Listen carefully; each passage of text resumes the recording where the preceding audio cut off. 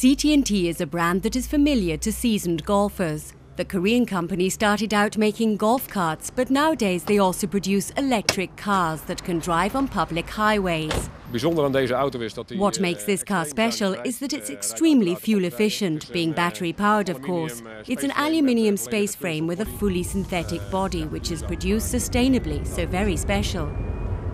CT&T aims to conquer Europe with its electric cars and has chosen Amsterdam as the location for its European headquarters. Minister van der Hoeven officially opened the premises and emphasized the importance of the arrival of the Korean company. It's good for It's good for our economic development and good for employment, and a company like this producing electric cars also fits perfectly with our own ideas about transport in the future.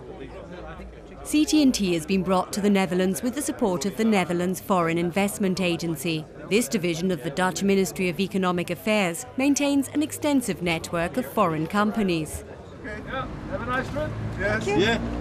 Van der Hoeven warmly applauds electric transport, but emphasises there's still plenty of room for improvement. To give extra incentive to the development of the electric car, the Ministry of Economic Affairs is making 3.5 million euros available.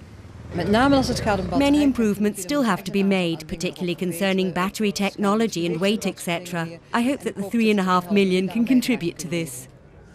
Besides the headquarters, CT&T are also opening a production line in the Netherlands. The company plans to manufacture 20,000 cars for the European market next year.